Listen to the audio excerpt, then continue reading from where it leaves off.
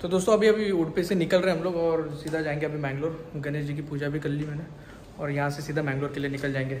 तो सर ने बहुत हेल्प की है कल हमारा टैरिफ टेन परसेंट डिस्काउंट दिया इन्होंने। तो I will highly recommend this Udupi Residency so please come rooms are clean and थोड़ा प्रोफेशनल ये ओल्ड है, जो होटल है ना, ये थोड़ा ओल्ड है तो आपको है ना ओल्ड तरीके का कुछ बटन्स एंड ऑल एवरीथिंग मिलेगा आपको।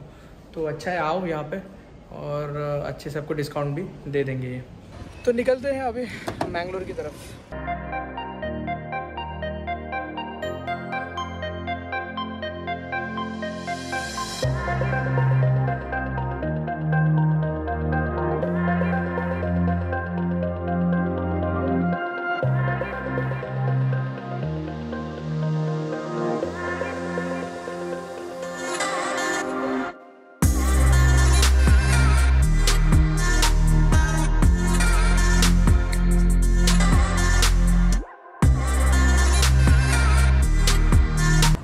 मैंगलोर से सिर्फ़ हम लोग हैं 20 किलोमीटर दूर और प्यास लगी थी बहुत ज़्यादा।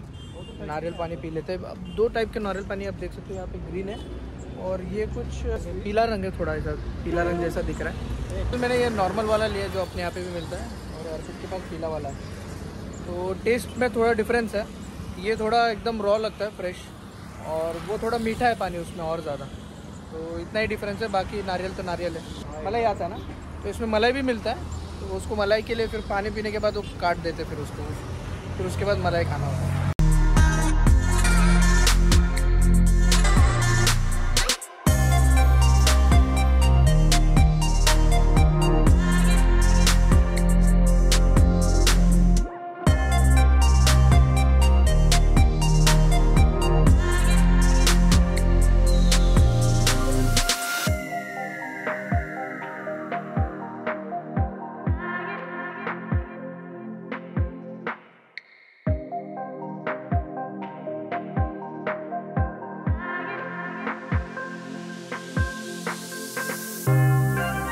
So, we have reached Shetty Lunch Home and ultimately we have reached Mangalore. तो अभी शेट्टी लंच होम में खाना खाने जा रहे हैं मछली फ्राई देखेंगे कौन सी कौन सी मिलती है यहाँ पे. तो ये है शेट्टी लंच होम इसके बाद हम रूम देखेंगे. और फ़िलहाल शेट्टी लंच होम में खाना खाते हैं. ये भी ओपन रेस्टोरेंट है और तो ये वाला एसी रेस्टोरेंट है तो एसी में बैठने जा रहे हैं बिकॉज़ थोड़ी सी गर्मी लग रही है हमें.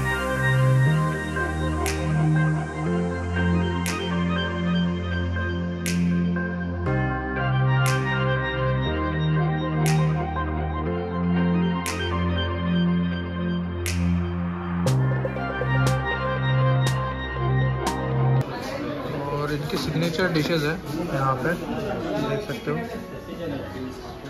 तो जो चिकन घी रोस्ट है, ये बहुत ज़्यादा फ़ेमस है यहाँ पे। ये हम ट्राई करेंगे ज़रूर आज। और बाकी फ़िश आइटम भी ट्राई करेंगे लिस्ट में देख के।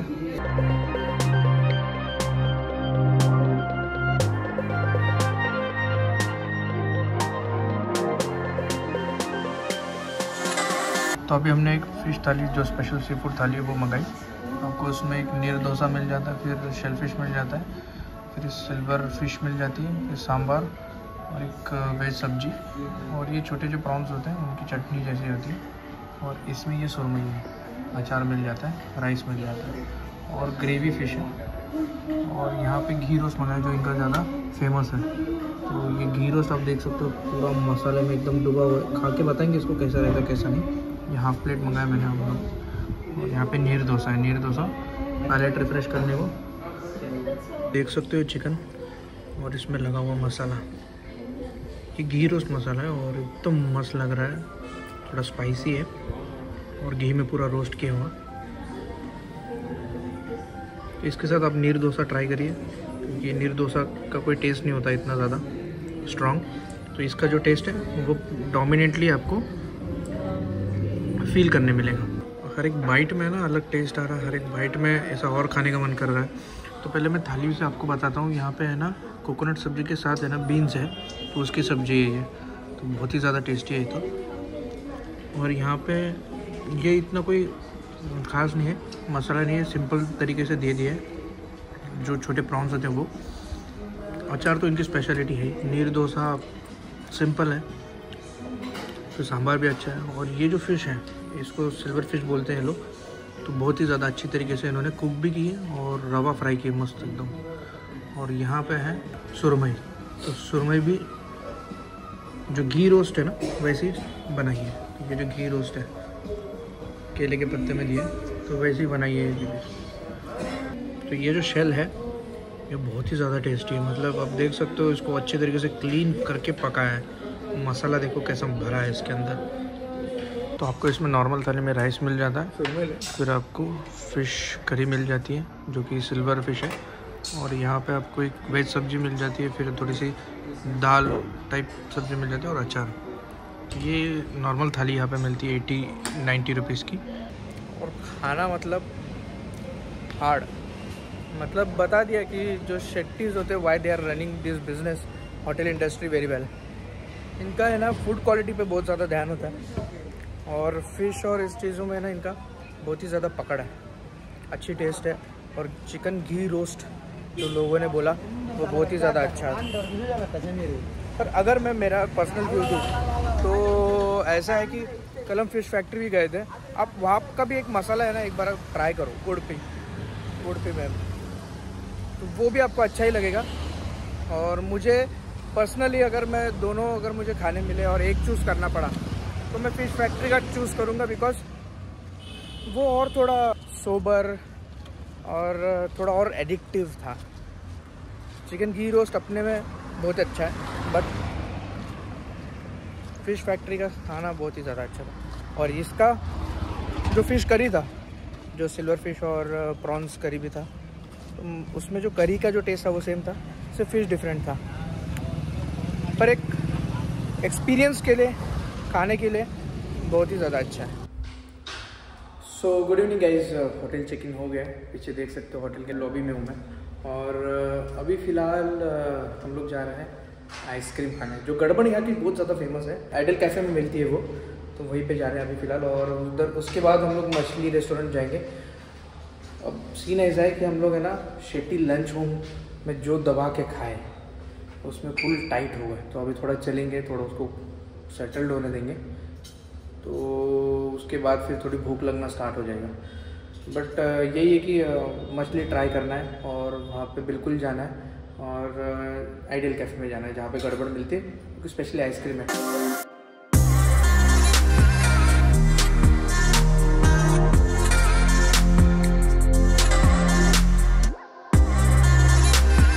वाइज अभी आइडियल कैफ़े आ गए हम लोग। पाँच, दस मिनट का वॉक था सिर्फ़ होटल से। अब पीछे मेरे देख सकते हो आइडल कैफ़े अभी यहाँ पे जाके देखते हैं आइडल कैफ़े में कैसा गड़बड़ मिलता है। गड़बड़ आइसक्रीम का नाम है तो खा के देखते हैं अंदर जाके। यहाँ पे टेक अवे काउंटर भी है। और जस्ट टेक अवे काउंटर से है ना राइट हैंड साइड में ही, अंदर रेस्टोरेंट भी है बड़ा। ये दो डिश में हम लोग ने मंगाई है। ये है गड़बड़ और ये है दिलकुश। दिलकुश में आपको है ना फ्रूट कैरमलाइज मिलेंगे और ऊपर ड्राई फ्रूट है और तीन स्कूप ऑफ़ आइसक्रीम है। तो डिफरेंट डिफरेंट आइसक्रीम है टेस्ट अलग होगा। और इसमें फालूदा जैसा आइटम दिख रहा है अंदर की तरफ़ और ऊपर की तरफ़ एक, एक स्कूप आइसक्रीम है और जली डाला है अंदर। तो हम लोग अभी दिलखुश खा के टेस्ट किए इसमें आपको फ्रूट्स देखने मिलते हैं आपको ऊपर ड्राई फ्रूट देखने मिलते हैं। और तो आइसक्रीम के स्कूप के अंदर भी है ना आपको ड्राई फ्रूट देखने मिलते हैं। तो बहुत ही रिच है, बहुत ही मतलब मुँह में ऐसा है ना टेस्ट वर्जन अपने एक्टिव हो जाते हैं। ऐसा वाला आइसक्रीम है। अलग अलग फ्लेवर है वैनिला स्ट्रॉबेरी और और एक बटर स्कॉच टाइप टेस्ट आ रहा है। बिल्कुल मतलब है ना इसको ट्राई करो, मीठा जैसा चाहिए वैसा। ज़्यादा मीठा बिल्कुल भी नहीं है कम मीठा है और आपको बिल्कुल पसंद आएगा यहाँ ये भी गड़बड़। सेम ही आइसक्रीम है बट इसको फालूदा के टाइप में बनाया गया है। इसका नाम दिया गया है गड़बड़ but basically this is falooda. But the basic thing is that कि इनका जो आइसक्रीम है, ये खुद बना रहे हैं। तो जो आइसक्रीम बनाने का जो फ्लेवर है, वो एक ऑथेंटिक फ्लेवर है। इट्स वेरी स्मूथ सो जो मिल्क यूज़ हो रहा है it's very good milk which is being use for making this ice cream that is the reason it is not too sweet and it is not having any flavours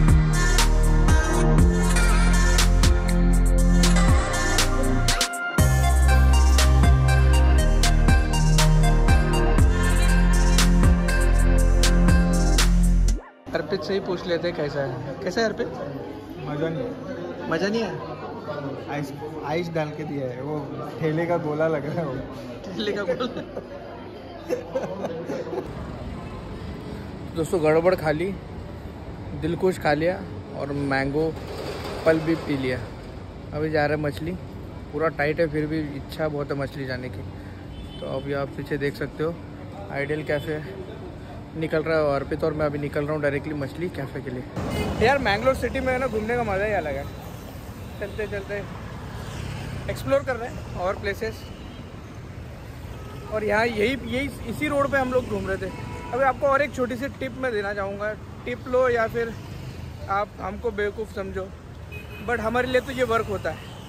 हम लोग है ना, कभी भी hotel है ना डायरेक्टली बुक नहीं करते। बिकॉज़ होता क्या है और तीन चार बार हो चुका है हमारे साथ कि समवेयर अगर हमने बुकिंग कर ली है तो वहाँ पे ना, हमको पसंद नहीं आता। पैसे वेस्ट हो जाते हैं फिर वैसा होता। है सेटिस्फेक्शन नहीं मिलता। तो हम लोग ने क्या किया कि डायरेक्ट सिटी में जाएँगे और फिर जाके वहाँ पे होटल देखेंगे और फिर डिसाइड करेंगे whether it fits our expectations और नॉट तो फिर जाके फिर हम लोग बुकिंग करते हैं। और ये हर टाइम वर्क होता है। कभी सेटिस्फेक्शन मिला नहीं हमें वैसे। तो आज भी वैसे ही हुआ। ये पीछे जो साई पैलेस आप देख रहे हो ना, यहाँ पर भी आए थे हम। पर यहाँ पे आज पूरा सोल्ड आउट था। यहाँ पे गए थे फिर दो ओशन पल्स गए थे। वो भी सोल्ड आउट था। तो फिर हम लोग ने घूम के दूसरे होटल गए। वहाँ पे मिल गया हमें।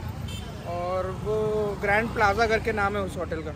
अच्छी रूम्स है बालकनी तक है तो मस्त आराम से वहाँ पे हम लोग सेटल्ड हो गए, फिर उसके बाद निकले आइडियल कैफ़े में। अब जा रहे हैं मछली। मछली खाने जा रहे हैं मछली में। सॉरी मछली रेस्टोरेंट में।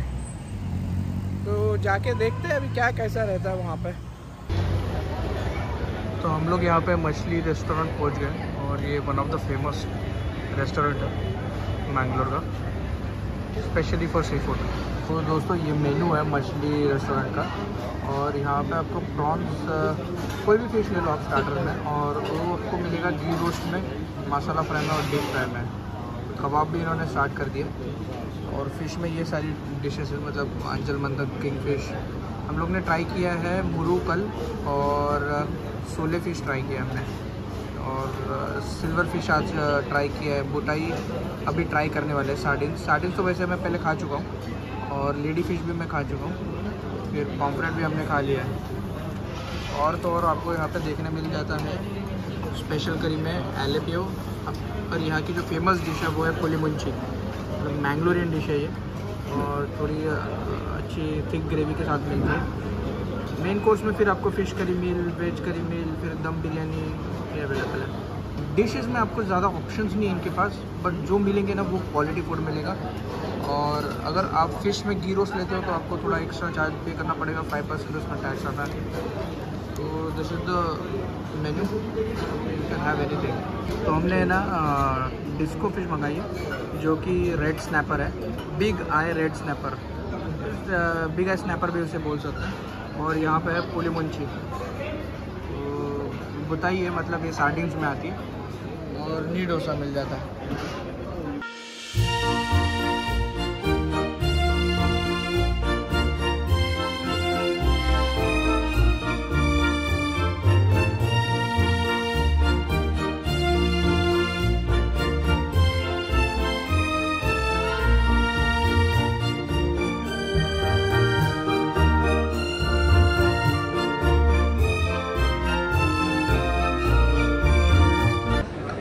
मैंने थोड़ा है ना ग्रेवी पे रिसर्च की, थोड़ा इसे डाइसेक्ट किया।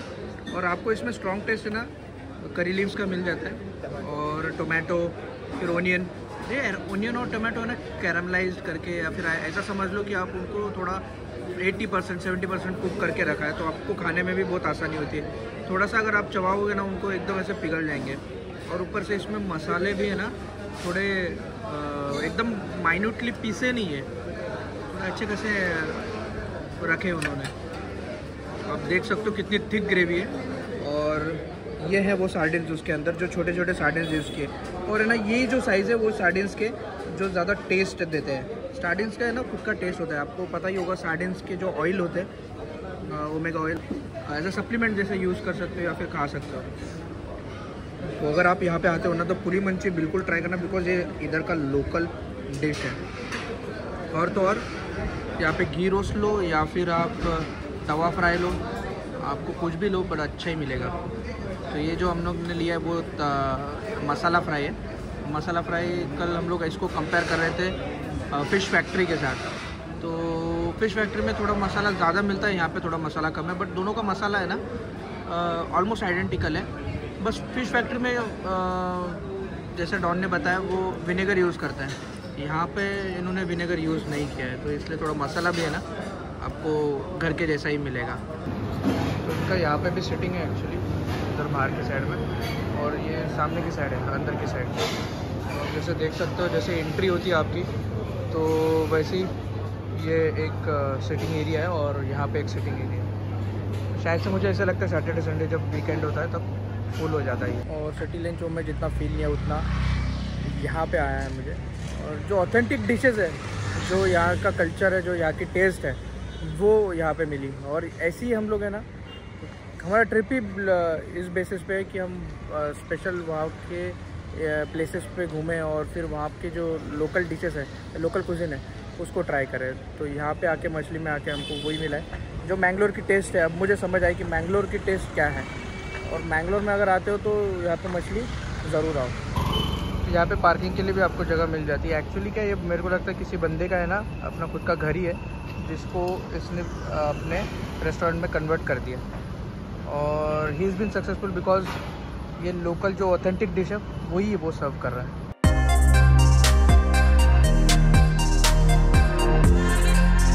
तो दोस्तों, ये जो ओशन पल होटल है, यही मुझे पसंद आया था एक्चुअली बट यहाँ पे पूरा आज के लिए बुक था। और इसी लेन में सामने की तरफ़ मछली है। ये भी आज फुल था। तो ये होटल देखो, क्लॉक टावर के शेप में पूरा बना है। मस्त आर्किटेक्चर है इसका। यहाँ पे ना, घी रोज़ बहुत ज़्यादा फ़ेमस है। जो जिस भी होटल में जाऊँ, वहाँ पे है ना, घी रोस्ट का ऑप्शन मिल जाता है। तो अच्छा खासा वॉक ले रहे हैं अभी। जो पीछे दिख रहा है आपको, ये एक्चुअली सिटी सेंटर करके यहाँ पे एक मॉल है।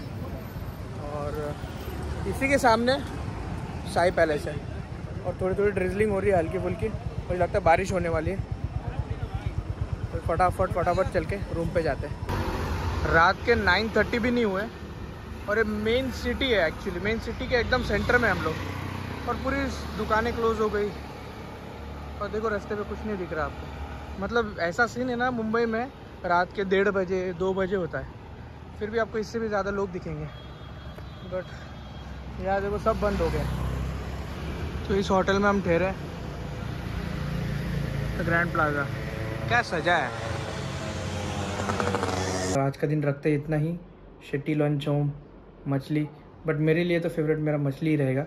बिकॉज़ uh, जो उसका ऑथेंटिक टेस्ट था लोकल फ़ूड टेस्ट तो वो एकदम मतलब बोलूँ तो बाप फ़ूड था बाप।